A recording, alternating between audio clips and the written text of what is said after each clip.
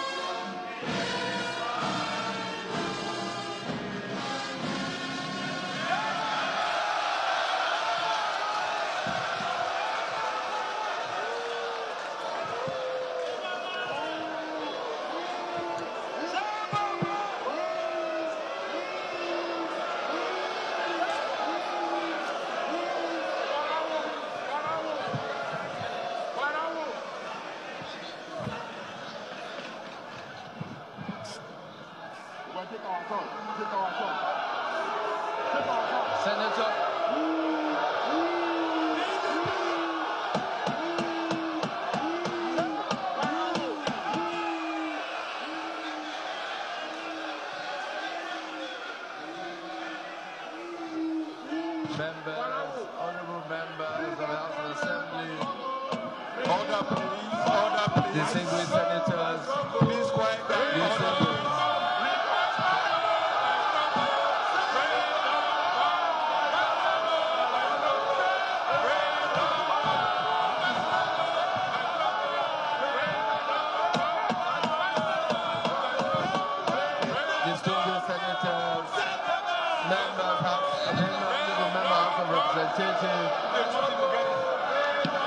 Distinguished Senators, Member House of Representatives, can Senator Adokwe give us the Christian opening prayer?